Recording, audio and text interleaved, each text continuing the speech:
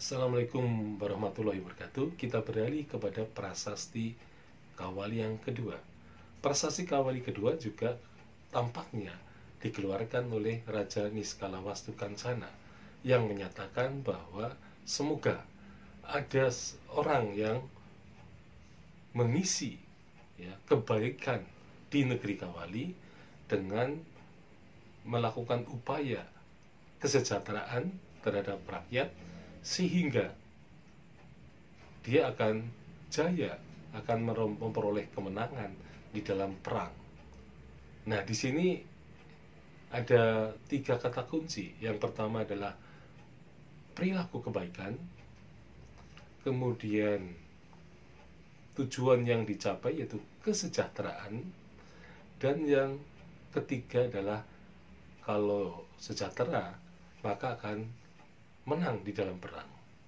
Nah, kita lihat bahwa kebajikan atau kebaikan itu merupakan suatu perbuatan yang memang disarankan kepada semua orang agar kebaikan itu akan mendapatkan balasan dalam bentuk kebaikan juga.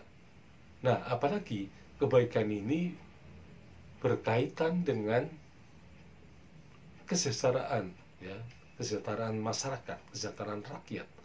Sehingga negeri Kawali itu akan sejahtera dan ketika orang menghadapi musuh dalam peperangan maka dia akan lebih tangguh ya dalam menghadapi musuh sehingga kemudian akan memperoleh kemenangan di dalam perang. Nah, ini merupakan suatu apa?